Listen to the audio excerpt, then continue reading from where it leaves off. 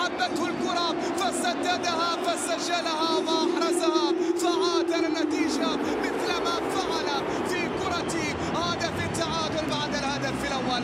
هدفان لهدفين لكن يا له من شوط هذا الشوط أجمل من كثير من الأشواط لكثير من القمم على مستوى الأسابيع الماضية.